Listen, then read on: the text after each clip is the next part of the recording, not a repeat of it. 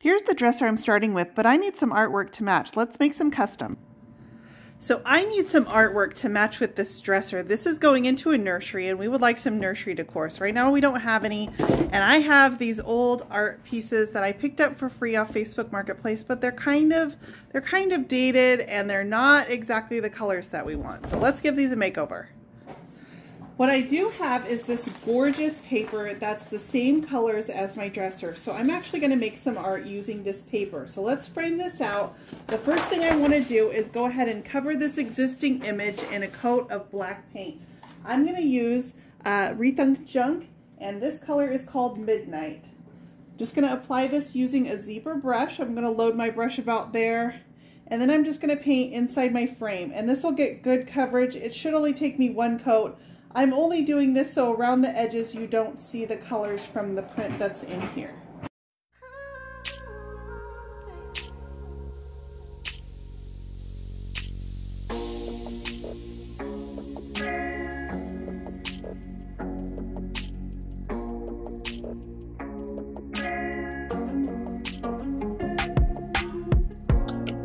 Here is where I am at the end and one coat of my Rethunk Junk gave me good enough coverage that I can put my paper over the top of this. I'm gonna let my paint go ahead and dry for a little bit.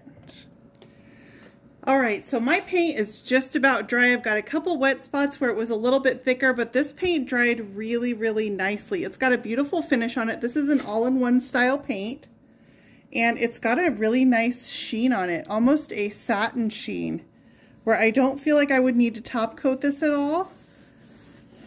Um, my paint is still a little very fresh, so I don't want to give it a stretch test quite yet, but I'm going to go ahead and just start my decoupage project right over the top of this. Okay, when I'm decoupaging a thicker paper, which this is a little bit thicker paper, this is a gift wrap from Society 6. I like to use a wallpaper paste, and I'm going to use Roman brand 543 wallpaper paste but I like to back butter my thicker papers. The purpose of this is I want to actually let the paper soften a bit and I also want to make sure that it has good contact when I lay it onto my art. So this is going to help it make good contact and also soften my paper a little bit so that I can get it to stretch while I'm laying it. This is going to help me keep the bubbles out.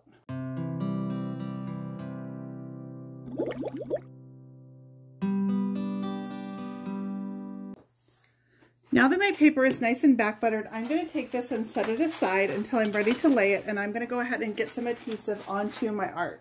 All right, so my paint is nice and dry. I used Rethunk Junk by Laura, and it's got a beautiful sheen on it.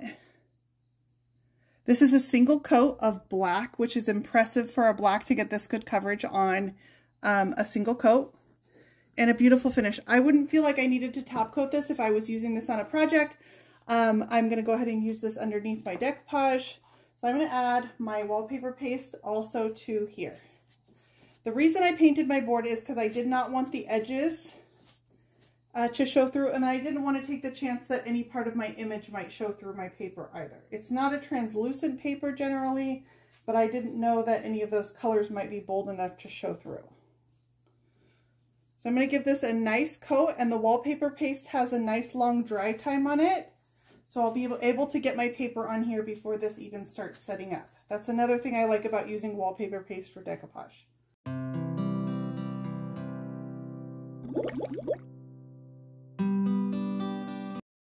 And I'm going to start in the corner and I'm going to find my 90 degree angle.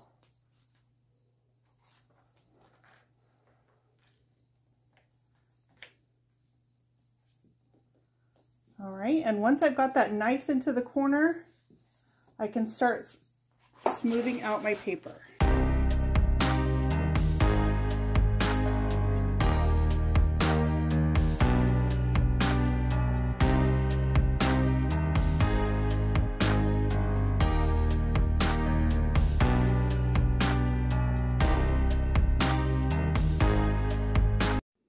Once my paper was smoothed out to all my corners, I came back with a really sharp razor knife and I went ahead and cut away the excess of my paper. Be sure to use a really sharp knife for this or wait for your paper to dry. It can have a tendency to tear while it's wet. Next, I'm going to pour a coat of clear resin over the top of my paper. I'm going to use the frame to hold it in, so I don't really need to do a lot of prep here, but I do need to mix up my resin. I'm using Amazing Clear Cast Resin from Alumilite. I'm going to mix equal parts of part A and part B into a cup and make sure I stir them well for about four minutes. Once my resin is well stirred, I go ahead and pour it onto the top directly over my paper. I'm going to spread the resin evenly over the top just using a silicone spatula tool. I use silicone tools with my resin because the resin won't stick to them. Once it's dry, I can easily pop off the excess resin and my tools are ready for use again. You always want to be sure that you're wearing gloves when you're working with resin. Number one, because it can make a huge sticky mess. Number two, it can cause skin sensitivities. This is a fairly thin layer of resin over the top and I'm just doing one coat just so it has the look of glass over these framed prints. This was really easy to do because the frames act as my border and hold the resin in so I didn't need to tape off anything. So this was a pretty easy resin project.